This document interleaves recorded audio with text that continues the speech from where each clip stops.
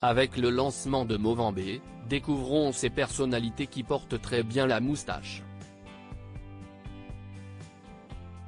Après Octobre Rose, voilà que le mouvement Movember arrive.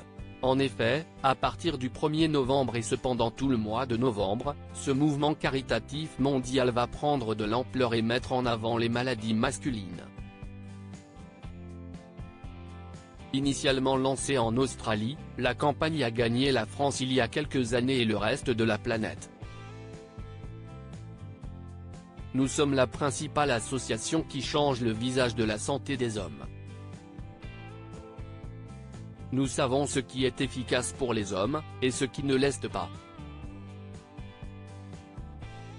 Le cancer de la prostate, le cancer des testicules, la santé mentale et la prévention du suicide, on s'attaque à tous ces sujets, précise le site de la Fondation.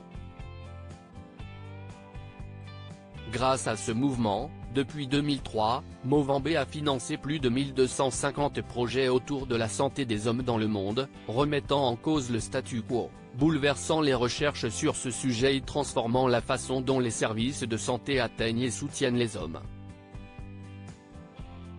D'ici 2030 nous réduirons de 25% le nombre d'hommes qui décèdent prématurément. Ainsi, de nombreuses célébrités vont se faire pousser la moustache pour permettre de sensibiliser l'opinion publique aux maladies masculines.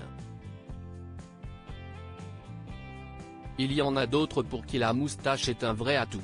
Ces célébrités qui portent la moustache comme Brad Pitt qui avait affiché une jolie moustache fine pour la première du film L'étrange histoire de Benjamin Button.